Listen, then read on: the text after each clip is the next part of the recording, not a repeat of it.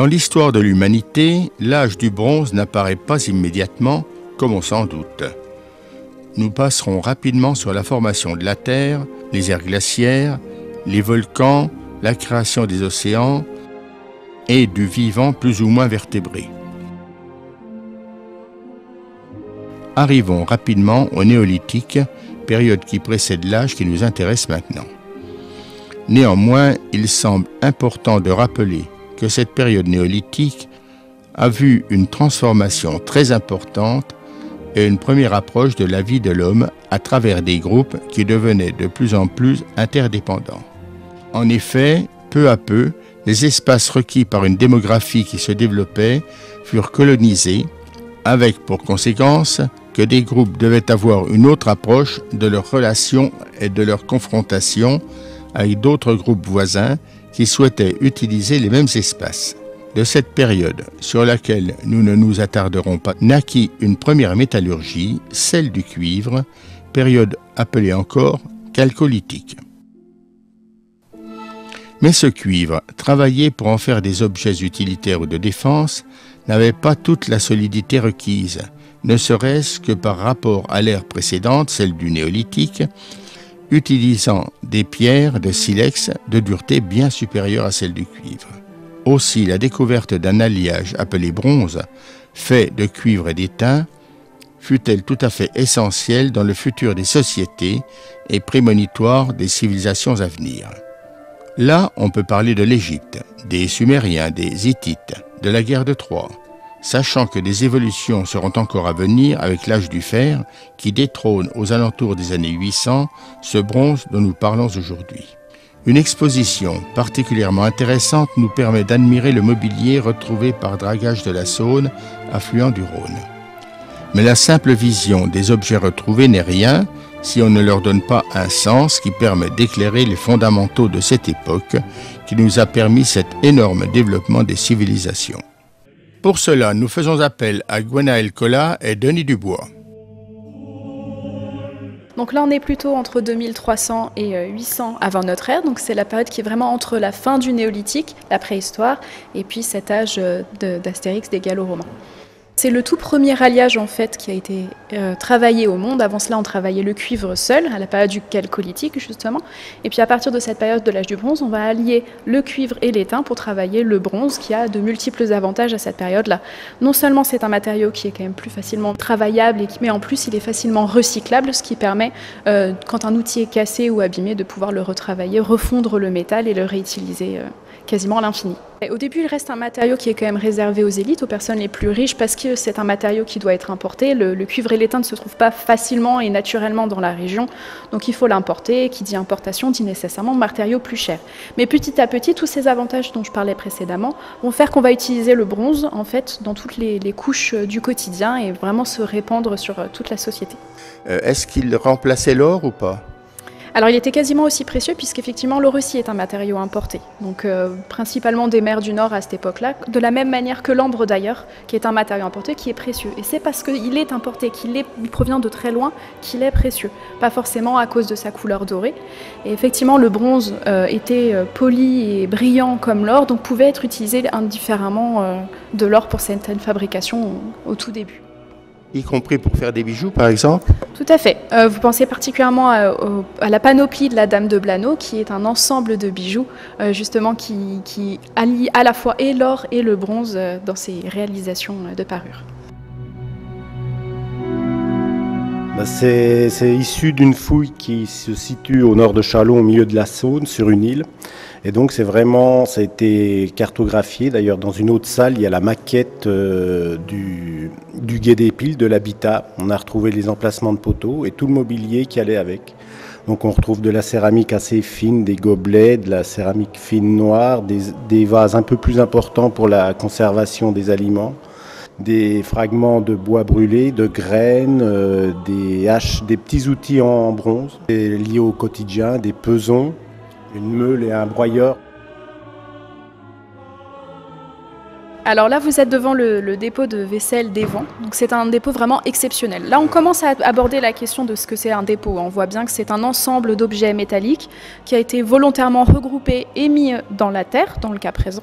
Ce sont des très très beaux objets puisque ce sont à la fois des objets en bronze. Vous voyez bien la technique du bronze battu, la finesse au niveau des petites passoires. C'est vraiment quasiment de la dentelle aujourd'hui, mais c'est vraiment exceptionnel. Certaines coupes euh, préservent d'ailleurs la couleur dorée brillante qu'avait le bronze aujourd'hui. Il faut vraiment oublier cette couleur euh, grisâtre, verdâtre de ce bronze qui, a vieilli, qui euh, qui s'est oxydé pour avoir une idée plus précise de ce à quoi ça ressemblait. Euh, c'est aussi précieux, donc pas seulement par la technique et la, précision du geste, mais aussi parce que c'était un service qui, permettait de consommer le vin.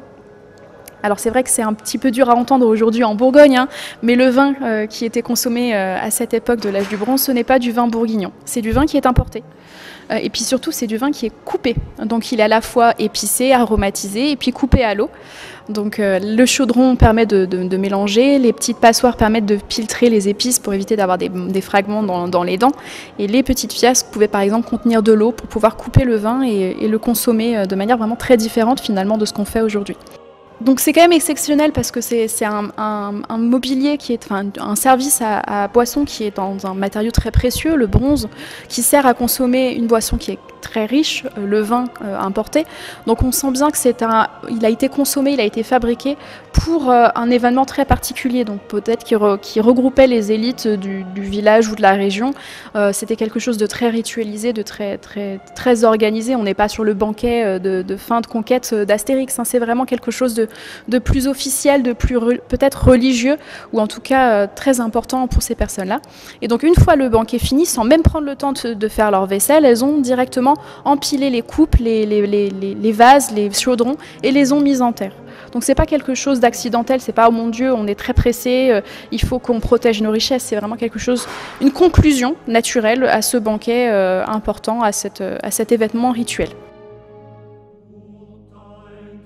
Donc nous sommes devant le dépôt de Canécluse parce que l'objectif c'était aussi de montrer euh, que ces dépôts ce n'est pas limité à la Bourgogne-Franche-Comté. En guise d'introduction, il fallait vraiment montrer que c'est un acte qui concerne toute la France, tout le territoire national actuel, mais aussi toute l'Europe.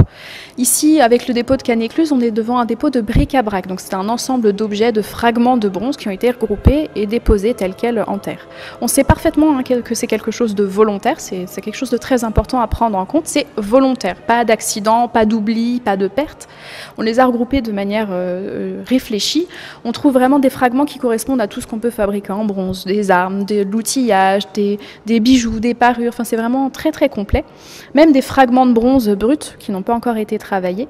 Ce qui est important de noter ici, c'est que une espèce de contre-exemple aux premières théories qui, touchaient au dépôt euh, de l'âge du bronze, qui disaient que ces dépôts étaient euh, mis en terre parce que les populations fuyaient des dangers imminents ou des guerres, enterraient leurs richesses et ne jamais les récupérer.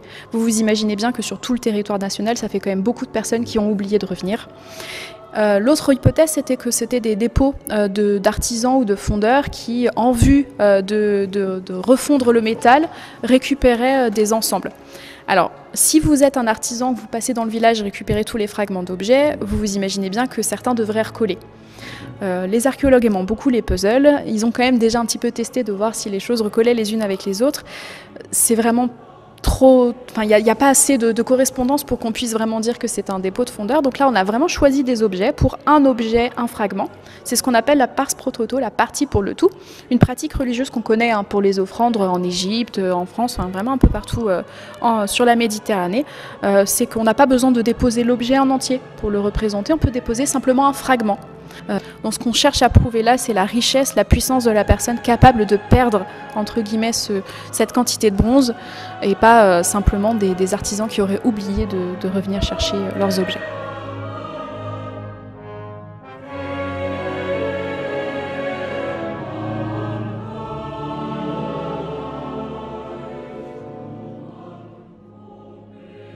Vous êtes devant la vitrine qui, regroupe la parure de la Dame de Blano. Donc c'est un très très bel ensemble qui, est complet, hein, qui est intégré. donc vous avez des petits éléments de parure, des décors de cap, des colliers, des pendeloques, une ceinture, même des jambières, qui vous donnent un aperçu de la parure féminine dans le cas présent. C'est vrai que à l'âge du bronze, les élites sont principalement guerrières et masculines, mais on a également des, femmes puissantes et riches comme, comme cette personne ici. Euh, la Dame de Matet dans le Doubs est un autre exemple de, parure de ce type euh, qui peut être cité. Euh, ce qui est intéressant, c'est qu'on a trois âges de sa vie qui sont représentés, à la fois ses parures d'enfants, ses parures d'adultes et ses parures de, femmes plus âgées. on le voit au niveau des colliers, par exemple, qui regroupent à la fois du bronze et de l'or. on montre bien toute la puissance, toute la richesse de cette femme. Elle a déposé ses, objets d'un seul coup, d'un seul tenant, déposés en terre volontairement, soigneusement rangés, organisés dans, dans des contenants. Et euh, ça, représente une perte importante, mais on peut y voir aussi un geste d'hommage, peut-être un geste funéraire. On n'aura bien évidemment aucune certitude hein, sur euh, le pourquoi du comment, mais on peut voir en tout cas euh, le, côté intime et précieux qui est là ici, c'est comme si vous déposiez votre montre de grand-père ou votre alliance en fait. C'est quelque chose qui a une signification très personnelle, très intime pour vous aussi.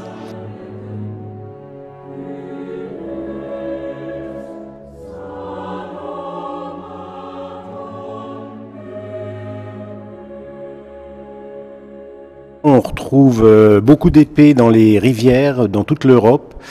Et en fait, euh, on a voulu présenter un petit peu les trouvailles sur la, Saône qui sont liées euh, en fait au dragage qui ont commencé au 19e siècle. C'est-à-dire qu'avant avant la rivière, la Saône était, ressemblait à la Loire. Et elle était très peu navigable, où on naviguait sur, la, sur les rivières qu'en période de crue. Et avec l'arrivée de la révolution industrielle au 19e siècle, il a fallu aménager certaines rivières. Et donc euh, on a commencé à draguer, à construire des barrages. Et lors de ces dragages, on a commencé à remonter beaucoup d'objets, et notamment des épées de l'âge du bronze en très grande quantité. Mais que ce soit sur la Saône, la Seine, le Rhin, il y a eu énormément de trouvailles comme ça.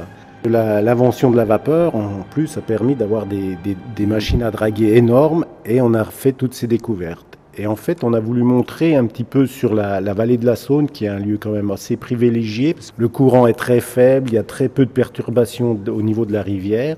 Et les dragages au niveau de la région chalonnaise ont été suivis depuis le milieu du 19e siècle. Euh, au départ, Jules Chevrier, qui était euh, conservateur du musée, et président de la société d'histoire. toutes ces personnes des, sociétés savantes ont suivi les dragages et ont récolté les épées.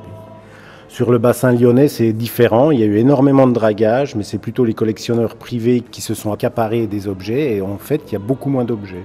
Par contre, dans les textes, on sait qu'il y a eu énormément de trouvailles, mais ces trouvailles ne sont pas arrivées jusqu'au musée. Ça a été vendu, revendu. Enfin, pour le moment, il y a peu d'objets.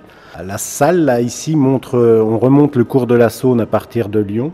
Puisqu'au 19e siècle, les services de navigation, l'État a fait un état des lieux de la Saône euh, depuis Lyon jusqu'à sa source en mettant des bornes kilométriques. Pour les chemins de halage, il y a toujours ces bornes. Et en précisant sur les cartes les endroits où il fallait draguer, pas draguer, où il fallait faire des aménagements. Donc euh, nous, nous avons essayé de, retracer ce ce qu'expliquait Denis, justement, ces découvertes, de les noter soigneusement sur des cartes. C'est ce, qui jalonne tout le parcours du visiteur euh, sur, euh, sur l'exposition. Ces cartes donnent à la fois les emplacements des passages à qui sont connus ou, supposés, les emplacements des découvertes de ces dépôts, et puis, bien évidemment, toutes les, collections archéologiques qui peuvent venir s'y ajouter, donc des, des, connaissances sur l'habitat, sur le monde funéraire, à la fois incinération et inhumation. Donc ça nous permet vraiment de dresser une cartographie, un paysage en fait de ce à quoi devait ressembler la vallée de la Saône à l'âge du bronze.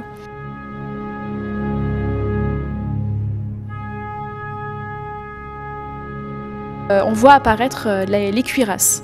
Euh, vous êtes devant ici la cuirasse de Saint-Germain-du-Plain, qui est aujourd'hui conservée au musée d'archéologie nationale, mais qui est bien issue de, de, la Saône. Et on voit la délicatesse du travail de la technique du bronze battu.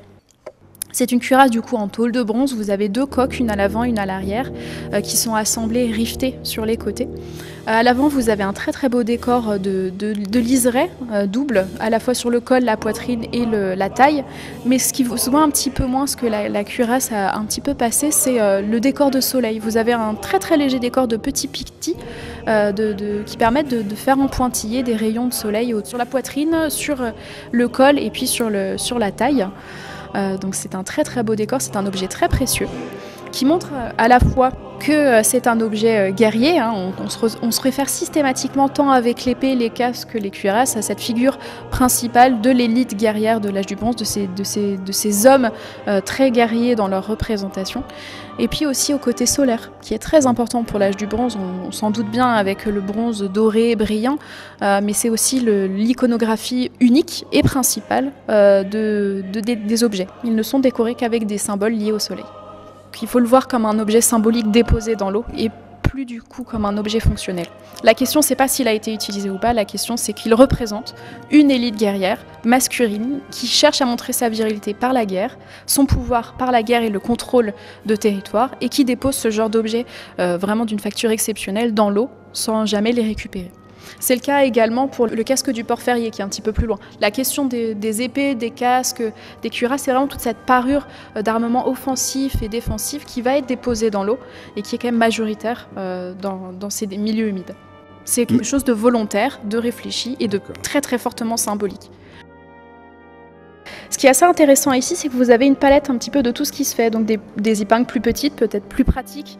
Euh, vous vous imaginez plus facilement les mettre pour agrafer votre vêtement ou pour, euh, pour vous coiffer. Alors que si vous tournez la tête juste à droite, vous en avez un exemple qui est beaucoup plus important, qu'on appelle amoureusement le pic à brochette, puisqu'il est vraiment, euh, vraiment très très grand. Là, on, quitte l'objet fonctionnel. Et c'est ce qui est vraiment important de se remémorer quand on visite l'exposition, c'est qu'il ne faut vraiment pas voir ces objets d'un point de vue utilitaire. bien évidemment, ce sont des formes qui ont pu être utilisées à côté de ça au quotidien, mais elles ne sont pas déposées pour ça. Elles sont déposées euh, pour l'art symbolique, pour euh, euh, leur, quantité de bronze et puis pour le travail qu'elle représente. La très très grande épingle est extrêmement délicate. Elle a, elle a un décor très complexe, donc il faut fondre la tige, il faut fondre à côté la, tête, le retravailler, ajouter des petits éléments, le redécorer en gravure, rajouter des petits anneaux qui vont teinter. Donc c'est plutôt une prouesse technique et technologique et c'est celle-là qu'on va déposer, pas simplement une épingle.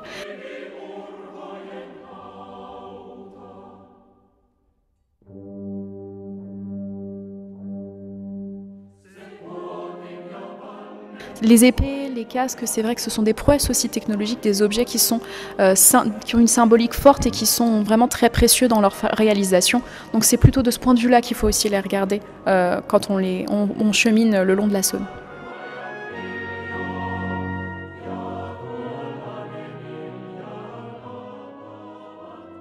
Alors ici vous êtes dans la, section dédiée au euh, dépôt du port ferrier. Donc c'est un ensemble en fait qui comprend un casque, trois épées, un bracelet et une faucille brisée. Euh, donc qui a été découvert effectivement euh, dans, la région. Là, ce qui est vraiment exceptionnel, c'est que on a un ensemble quasiment clos, c'est-à-dire qu'on a vraiment un aperçu de qu'un dépôt, ce n'est pas forcément un objet euh, déposé accidentellement. On peut avoir des choses qui sont déposées ensemble. Donc ça, ça donne un aperçu assez intéressant. Et puis surtout qu'on l'a mis en parallèle de trois dessins de guerriers un petit peu grandeur nature euh, qui portent ces éléments. Ça vous donne un petit peu un aspect plus vivant. Donc les objets qui sont représentés n'ont pas été trouvés au même endroit. Hein. C'est un assemblage d'objets qui datent à peu près de la même période, mais qui peuvent vous donner un aperçu de l'évolution des techniques, de l'évolution des, des, décors euh, sur ces objets. Donc on arrive ici sur la dernière vitrine, en fait, sur les deux dernières vitrines les plus au nord pour notre parcours, donc euh, celle dédiée à l'épée de Queutray et celle sur le dépôt du, de Ray-sur-Saône. Ce qui est intéressant euh, sur Ray-sur-Saône, hein, c'est que ça donne un petit aperçu, sans épée cette fois-ci, d'un dépôt métallique, euh, avec des bracelets, des faucilles et des haches, certaines haches fragmentées, donc volontairement, on les a cassés volontairement, ce qui est assez rare en fait euh, sur le parcours de la Saône. Ce sont surtout des objets complets, intacts, qui sont retrouvés. S'ils sont abîmés, ça peut être aussi euh, du fait de la drague qui les a griffés ou tordus au moment de la remontée. Donc là, c'est assez euh, intéressant. Et puis l'épée de Queutray qui, elle, nous montre un petit peu que bah, la, question de l'âge du bronze et des dépôts, ça continue de, mouliner et de, travailler aujourd'hui. L'épée de Queutray a été donnée au, au Musée des Beaux-Arts de Besançon en décembre dernier. Euh, justement, elle était en main privée, elle est revenue euh, en collection publique. Elle était connue euh, de Monsieur Bonamour et des, chercheurs sur l'âge du bronze, mais personne ne l'avait eu en main depuis sa découverte. Donc là, nos collègues de Besançon nous l'ont généreusement prêtée pour pouvoir l'exposer à cette occasion. Et elle est vraiment très très belle avec un décor un, peu exceptionnel par rapport à ce qu'on présente de cette poignée pleine avec des petits encarts où on pouvait venir rifter un décor rapporté et un décor de cercle concentrique sur la poignée vraiment très, très délicat. Nous terminons le parcours sur le milieu humide avec des comparaisons avec le Rhin, la Seine, la Loire et les lacs alpins, parce que bien évidemment, toutes les hypothèses qu'on présente pour la Saône, on ne les a pas tirées nulle part. Et c'est un phénomène qui est beaucoup plus global, qu'on peut retrouver sur ces grands fleuves, sur ces grands milieux humides, et qu'on va du coup pouvoir comparer, voir s'il y a de ressemblances, des divergences. Donc c'est assez intéressant d'avoir ce point de vue en dehors de la Saône. Remonter le temps pour redécouvrir l'âge du bronze n'est pas qu'un simple plaisir intellectuel, une connaissance supplémentaire. C'est comprendre une évolution essentielle, un passé sans lequel le présent ne serait pas celui que nous vivons. Lorsque l'on vous propose une exposition sur l'âge du bronze, n'hésitez pas, allez-y.